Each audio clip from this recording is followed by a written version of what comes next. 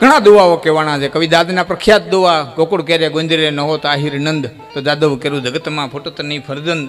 આ બે દુવા કવિ દાદના. એમના મિત્ર હમીરભાઈને સંબોધી. અને કવિ દાદે જે કીધું મુંજિયાસર એમના મિત્ર હતા હમીરભાઈ એટલે એમાં હમીર શબ્દ આવે. ઘણાએ મને વોટ્સઅપમાં પૂછેલું છે કે આમાં હમીર શબ્દ આવે છે તો નંદજીનું નામ હમીર હતું? નહીં, કવિ દાદે પોતાના મિત્રને સંબોધી અને દુઆ કીધેલા છે. ક્યારેક કવિ પોતાનું નામ પાછળ લખે તો કાગડા, ભૂદરા એવો શબ્દ આવે. ક્યારેક મિત્રને સંબોધે. દાખલા તરીકે વર્ષો પહેલાં મારા બાપુએ હામર ગામના કાબા પટેલને દુવો કીધેલો કે ક્યાં માળવો, ક્યાં મરઘર, ક્યાં હોરઠ, ક્યાં કચ્છ કાબા હિસું કોગદી આપણે એક વાડે જ્યાં વસાય તો ક્યાં માળવો, ક્યાં મરઘર, ક્યાં હોરઠ, ક્યાં કચ્છ. પણ કાબા હિસું કોગદી આપણે એક વાડે જ્યાં એક વાડાના વાછરડા તો સંબોધન કરે. એટલે આ કવિ દાદના બે શબ્દો, બે દુઆ. ગોકુળ કેરે ગોંદરે, નોવત આયર નંદ. તો જાદવ કેરું જગતમાં ફૂટતન નહીં ફરજન. અને દેવકી તારો દીકરો હમીર નવો દયા તો દેવકી તારો દીકરો પછી કંસને હાથે કપાત. એમાં હમીરભાઈનું નામ આવે છે. પણ મારે જે દુવો કેવો છે, વર્ષો પહેલા કોઈ અજ્ઞાત કવિએ કીધું છે, કોણે કીધો ખબર નથી. અદ્ભુત દુવો આહિર સમાજ માટે કીધો કે ધર ધમણા, પાંડર હિંગા અને જોકુળ આહિર નોય. તો મેયું, માગણ અને મંડળી કે એના અધર ઉચાળા હોય ધર ધમણા, પાંડર હિંગા અને જોકુળ આહિર નોય. તો મેયું, માગણ અને મંડળી એના અધર ઉચાળા હોય. આવો મારી સમક્ષ બેઠો છે. એમાં પ્રતિભા સંપન્ન, બાળકોનું અહીં સન્માન થયું છે. પ્રતિમાન સંપન્ન વ્યક્તિઓનું સન્માન થયું છે. આખો દિવસ ભરપૂર કાર્યક્રમ. હેલો, દેવાયત મામા કોઠિયાએ મને ફોન કર્યો. માફ કરજો, રાજુભાઈ મને ફોન કર્યો. દેવાયત મામાની તિથિમાં મેં કાર્યક્રમ પણ ચૂર કરેલો. અને ઘણા બધા દાતાઓ બધાએ મળી. મને કહેતા હતા, ભાઈ વિપુલભાઈ લગારિયા કે બાપુ, ત્રણ ત્રણ ચાર ચાર વર્ષે તો વારો આવે. આજે લખાવો ને, ત્રણ કે ચાર વર્ષે સમાજને જમાડવાનો વારો આવે. એટલો ભાવ, એટલો પ્રેમ પોતાના પ્રત્યે. અને હોવો જોઈએ. આદગતના પટમાંથી આટલું જ કરી જવાનું છે. બાકી તો ધર્મને એવો ઘૂસવી નાખ્યો છે ને કે સિગમ જેવો કરી દીધો છે. નથી થૂકી શકતા નથી ગળે ઉતારી શકતા? કંઈક મારા જેવા વક્તા હોય ને કંઈક બોલવા વાળા હોય ને હા ધોધ વસુઈ આમાં આમ ચેનલ ખોલો ને આસ્થા ને, સંસ્કાર ને. નીકળ્યું જ્ઞાન જ્ઞાન જ્ઞાન જ્ઞાન જ્ઞાન. આમથી મોરારી બાપુ નામથી રમેશભાઈ નામથી લાખણસિંહ નામથી બીજો નામથી ત્રીજો ને. એક દી મેં મારા ફેસબુકમાં લખ્યું કે યુવાનોને નવરા તો થવા દો ને, એની રીતે તો વિચારવા દો કે એની રીતે તો વિચારવા દો હા, તમને ધોધમાં નાવાની મજા આવે ઘડીક વાર મજા આવે, પણ પછી નીકળવા જ ન દે તો. એમ જ્ઞાનના ધોધ વસુ ત્યાં. હવે નીકળવા નથી દેતા બોલો. આપણે તો આજ મજા કરવી છે. આનંદ કરવો છે, મોજ કરવી છે.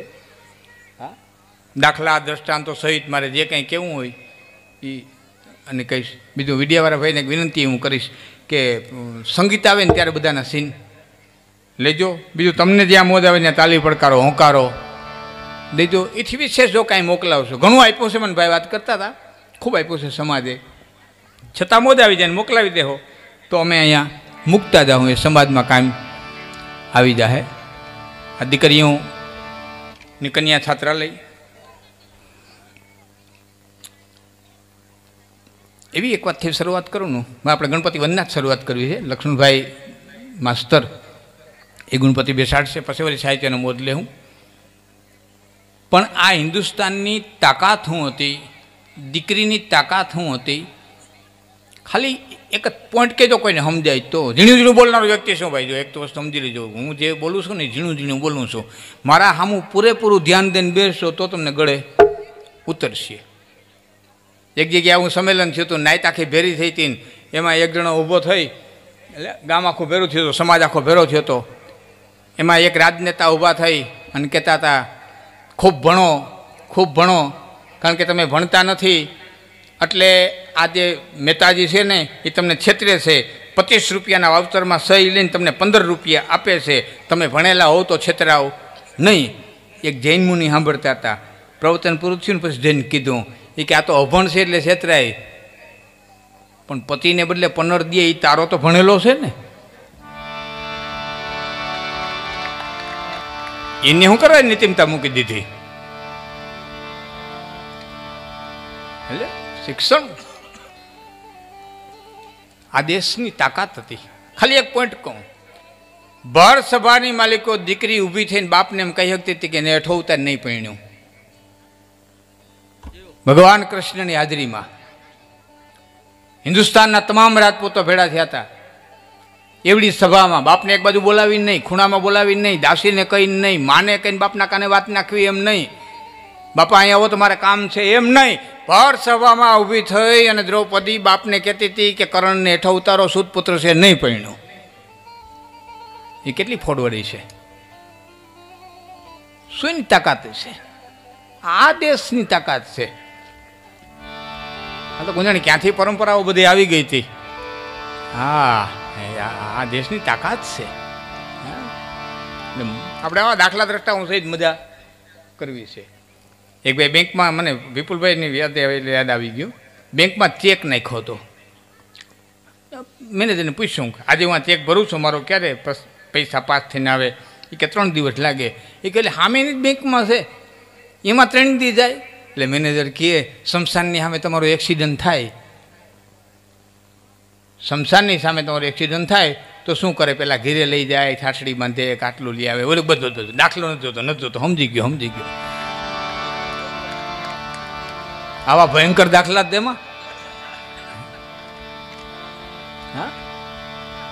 એક જણો વીમાવાળા પાસે ગયો તો વીમાની ઓફિસે જઈને કહે કે મારી પત્નીનો વીમો આજે હું ઉતરાવું. આજે હું મારી પત્નીનો એક કરોડનો વીમો ઉતરાવું અને કાલા મારા પત્ની મારા ગુજરી જાય. તો મને કેટલા રૂપિયા મળે? એટલે વીમાના અધિકારીએ કીધું તો ફાંસી જડે. આજ હાદી નિર્વીન તો ઉતરાય. કાંઈ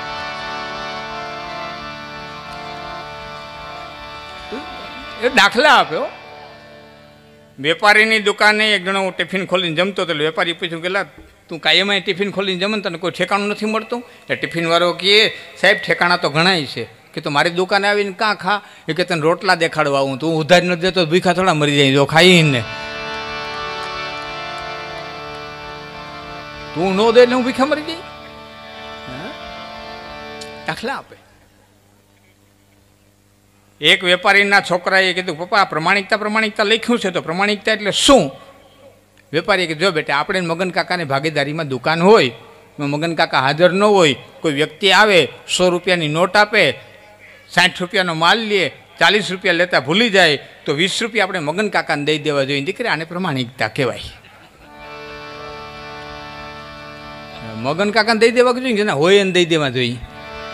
આ વાત પર પ્રમાણિકના દાખલા દઈએ. હા? એટલે તમને વોટ્સઅપમાં સરસ મેસેજ હાલતો થયો હતો હા? સરસ હાલતો થયો હતો કે સરકારશ્રીને વિનંતી કરીએ કે માંડવી તમે શેકી લેવો કે અમે શેકીને મોકલીએ. હા? તો પબ્લિક છે. ખેડૂતનો દીકરો ધૂળીમાં માંડવી પેદા કરે, સમજી શકાય. ખેડૂતનો દીકરો છે, મહેનત કરે, ધૂળીમાં માંડવી પેદા કરે, એ સમજી શકાય. પણ માંડવીમાં ધૂળી પેદા કરે, એ તો નવું જોયું.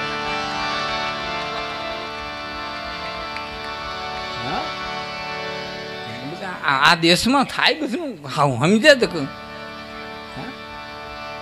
તો ઘણી વખત જાહેરમાં, આમાં જોઉં બધું, અમે તો કોઈ પક્ષમાં ન હોય. અમે લીંબુનું પાણી દેવા, અમારે બધા પક્ષ હાલતા હોય. પણ હોય હું કહીએ એમ. નીતિન પટેલે સત્યનારાયણ ભગવાનની કથા નહીં સાંભળી હોય. નીતિન પટેલે સત્યનારાયણ ભગવાનની કથા નહીં સાંભળી હોય. નગરમાં સ્પષ્ટ લખેલું આવે કે એક નગરની માલિકો એક ચતુર્વાણીઓ રહેતો હતો, અહીં તો બે હતા.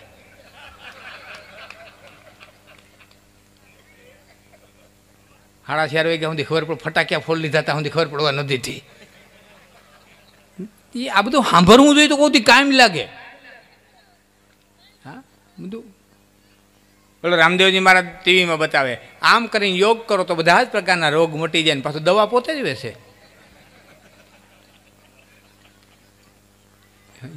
એ બધું સમજાય દેવું છે બધું, આ દેશમાં. એટલે વાળાની જાહેરાત જોઈ ને તમે ફેવિકોલ વાળાની, હામ હામ હાથિયું ખેંચે. તો એક વખત ફેવિકોલ ચોંટાડી દો પછી હામ હામ હાથિયું ખેંચે, તો ફેવિકોલ જુદો ન પડે એવી જાહેરાત દેખાડે. આ તમે જોયું છે એ ફેવિકોલના ડબલાને ઢાંકણું કદી ચોટ્યું? એ આવું ચાલે હા, આ દેશમાં, હા. ઝીણું ઝીણું વિચારો તો આમાં બહુ જડશે તમને. સમજ્યા જેવું છે. હા? બહુ અટલું ક્યારેક ક્યારેક મેં બે દી પહેલાં લખ્યું હતું. ક્યારેક ક્યારેક કહેવાની ઈચ્છા થાય મિત્રો. ખરેખર. ક્યાં જાહે આ બધી સમજદારી? સમજદારી અને સજનતા બે હાટ્યાને વેચાતા હોત. તો ધડોત લેવા ધનપતિ કંઈક નાણું ખર્ચી નટવરે તો સમજદારી અને સજનતા બે હાટે ને વેતા હા કહેવાનો અર્થ, આ તો દ્વારકા ભૂમિ, દેવ દ્વારકા. અને અમારા કાબા પટેલ એમ કહેતા, બહુ અદ્ભુત મને એક દુઓ એનો ગમે. દ્વારકાધીશના દર્શન કરવા ગયો એ આયર. અને તેથી દ્વારકાનાથને સામે ઊભા રહીને એક જે શબ્દ કીધો, વર્ષોથી હું આ દુઓ બોલું છું.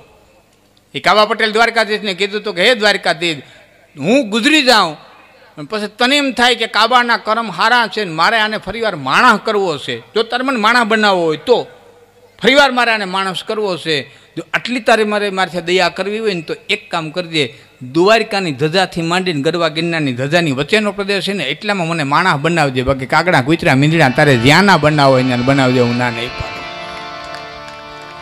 દુઓ કીધો તો કે જન્મ અમે જગદીશ. મર લખ ચોરાસીએ લિયા. પણ માનવ તન મહારાજ મને ગરવે લઈને દિયા તો જન્મ, અમે જગદીશ મર લખચોરા છીએ. લિયા કાગડા કુતરા મીંદડા તારે જ્યાં બનાવીને બનાવી બનાવજે. તને થાય મારે માણસ બનાવવો, તો મને બે ધજાની વચારે બનાવજે. તો આપણે એટલા ભાગ્યશાળી છીએ કે આ બે ધજાની વચારે આપણો જન્મ થયો છે.